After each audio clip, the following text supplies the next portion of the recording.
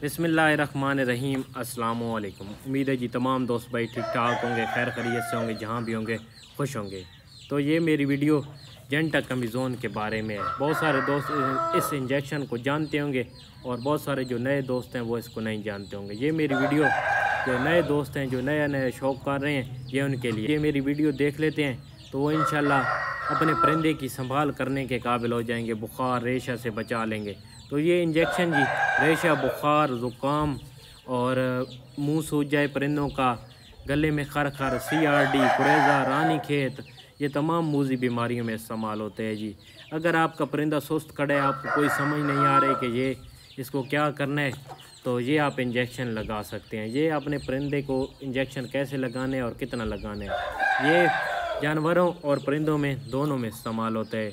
ये एक किलोग्राम को एक पॉइंट लगता है। आपने एक सीसी वाली सरिंज लेनी है तो उसमें अगर आपका परिंदा एक किलो का है तो एक पॉइंट लगाएँगे। अगर दो किलो का है तो दो पॉइंट लगाएँगे। ये बहुत ही अच्छा एंटीबायोटिक और एंटी एलर्जिक है। एंटी एलर्जिक मतलब है, जब परिंदे का मुँह सूज जाता है, आँखों में पानी आने लग जाता है, गले की एलर्जी हो जाती है, गले की सांस की नाली सूज जाती है तो ये उसमें लग सकता है। और बुखार ज़ुकाम, ये तो आम तौर पे एक बार ही लगाने से ठीक हो जाते हैं। तो ये दिन में एक बार ही लगता है, चौबीस घंटे में एक बार ही लगा सकते हैं।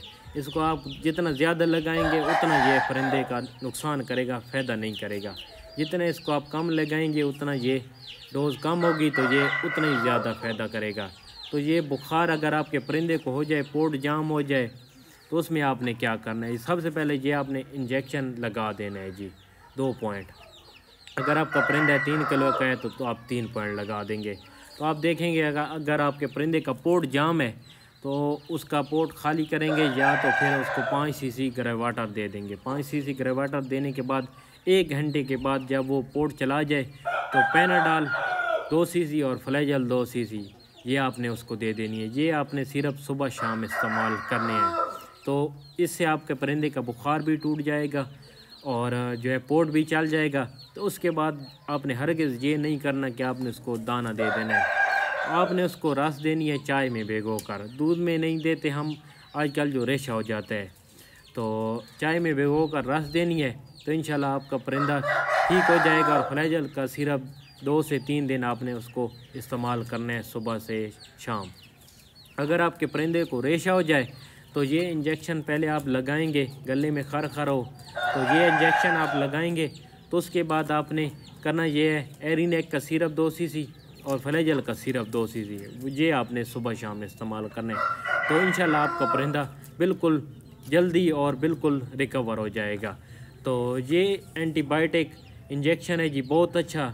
इसका नाम है जी जेंटा कमीजोन ये आपको हर परिंदों वाली, जानवरों वाली दुकान से आपको मिल जाएगा, दस सी से।